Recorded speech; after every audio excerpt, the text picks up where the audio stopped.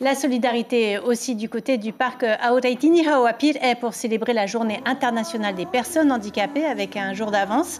Les piroguiers de la Hawaii Kinui Paravaa ont défilé euh, devant les autorités euh, du pays.